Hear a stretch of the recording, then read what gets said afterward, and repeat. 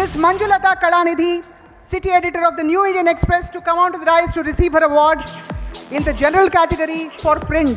Ms. Manju Latha Kalanidhi, Mantrigaru, I would like to also emphasize that Manju Latha Kalanidhi is the founder of Rice Bucket Challenge. As we all know, she is already famous, so she needs no introduction.